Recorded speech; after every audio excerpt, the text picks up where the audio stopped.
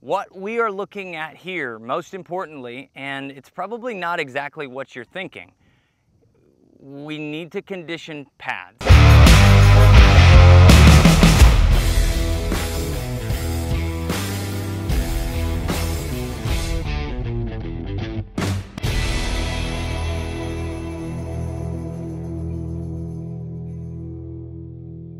Hey everybody, Ethan here with Standing Stone, and this one is all about how to prepare your dog for the hunting season. We did a video previously talking about the prerequisites, what your dog needs to be able to go hunting with you. And now that we have that established, what do we need to do to prep our dog to actually be ready to go? Hopefully you've already started this process as we are approaching hunting seasons very, very rapidly. But if you're waiting until the October, November timeframe for quail and pheasants, this is still plenty of time to get ready.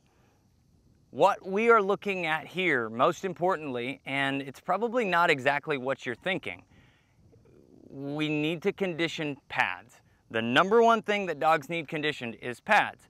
They can make up for a, a lack of stamina, though stamina is going to be really important. It is not the number one thing because if your dog's pads are not properly conditioned, wow, that was a lot of words there.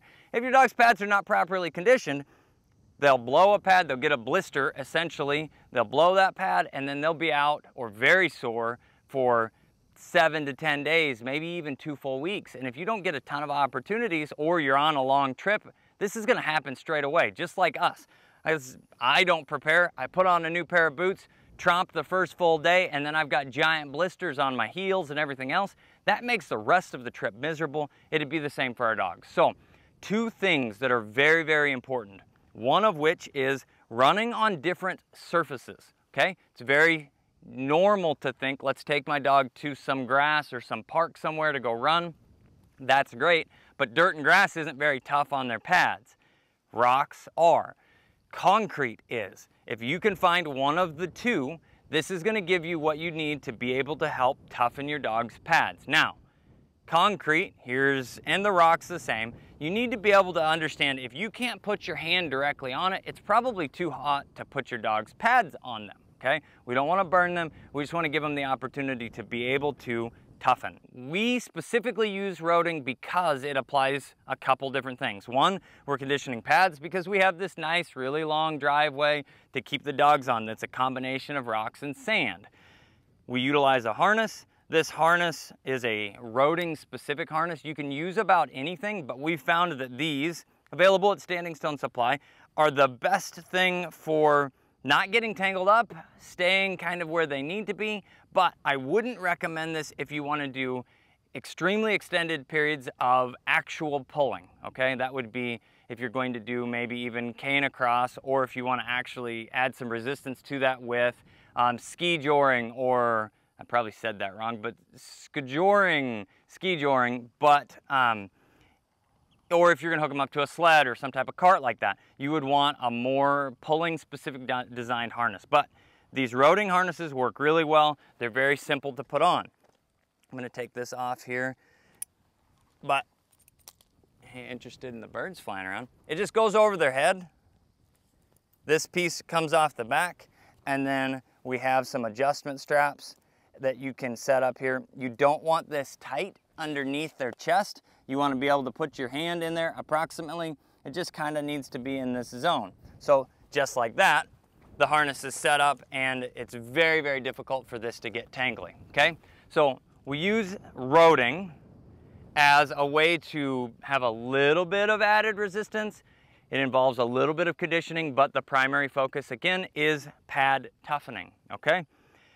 The next thing that we're going to do for preparing dogs' pads is um, we utilize a couple different products, but we bounce back and forth between this one. Um, Tough Foot is a really good one if you can get it. And all you do here after we get done roading is a couple sprays till their paw looks dampish. And this helps to toughen and condition their pads. And I really like the smell of it. So three to four sprays per pad. It's that simple. Those two things are going to be huge. Now, I wanna jump into showing you how we get started with this roading process if you're considering it.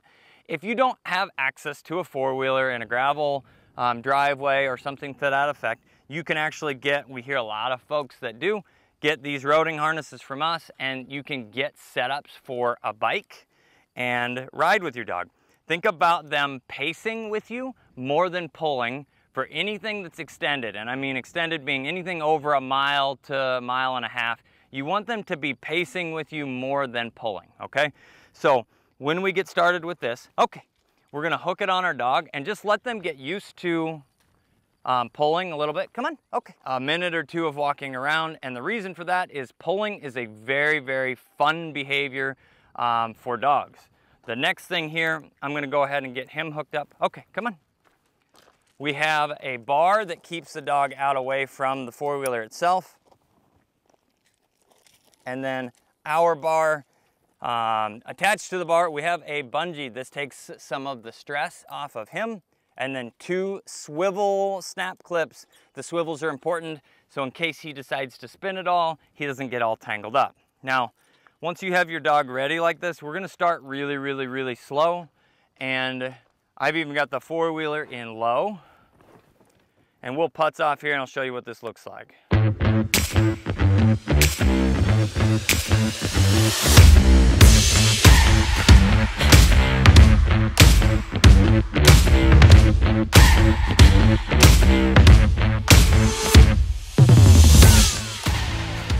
All right, so a couple things that are important. That was just a little quick down and back. Um, the longer, straighter zone that you have, the easier it is on the dog. Turning around can be a little confusing or difficult at times, but um, you could see some digging, some pulling out of him.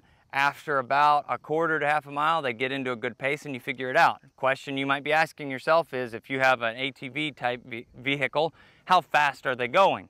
Um, typically between 8 and 10 miles an hour, but you've got to be very attentive because even there was a clip, I don't know if you'll see it or not, he kind of got distracted on a bug. We wouldn't want to zoom past him and then jerk him around or something like that and get him hurt. So it's all about focus, paying attention, building on a pacing type environment to toughen pads. It's all about time on those pads. Now, also, how long have we been doing this or when do we really prep and start this process? August 1 here, we spend usually building up one day a week, then two days a week, then three days a week to where we're getting about three days a week of just a mile. It's down and back on our driveway. Um, and then spraying every single day, not just the days that we rode, every single day with Toughfoot. So that's a, a one month process. And now here we are mid-September. We're into that category of still about three days a week they're doing it and we don't ever increase that distance. It's all about just, again, building some time on the pads. We're not utilizing this as our primary form of exercise.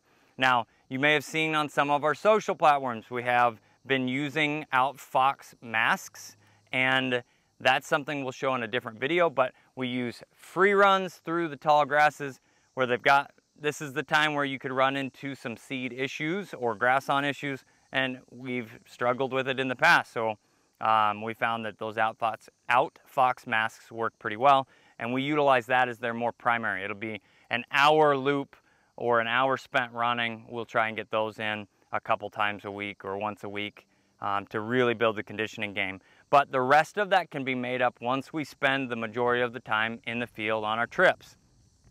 The pads can't be toughened once we hit the field, once we hit that trip. They're just gonna be blown out. So Keep the pads tough.